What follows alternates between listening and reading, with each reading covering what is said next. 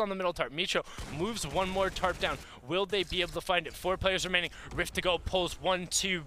I, I think it only pulled two up from the look of it. think there's still one uh, down on the low ground as Mitro starts looking up and taking shots. However, he's not standing inside of the zone anymore. Mitro gets Zex and he gets Cry.